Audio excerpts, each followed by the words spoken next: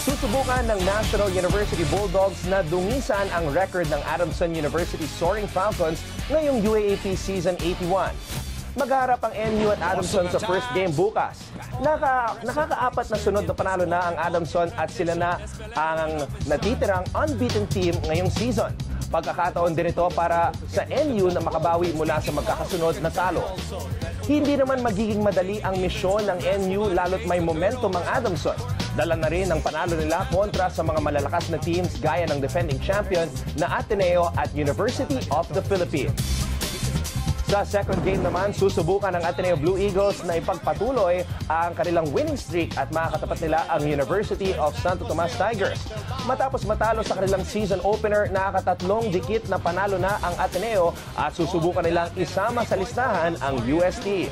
Gigil naman ang uste na masundan ang unang panalo nila ngayong season.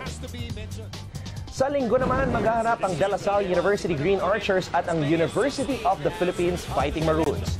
Importante ang laro bukas para sa dalawang teams, lalo't ayaw nilang maiwan ang Adamson at Ateneo sa team standings. Must-win game din ito para sa UP na gusto nang patulin or putulin ang kanilang losing skid. Gaganapin ang mga laro ngayong Sabado sa Phil Oil Flying V Center habang sa Mall of Asia Arena naman ang mga laro sa linggo. Mapapanood din ng live ang mga laro dito sa SNA. Hey everybody, this is Anton Rojas. Subscribe to the ABS-CBN Sports and Action YouTube channel by simply clicking on the bell button for more updates.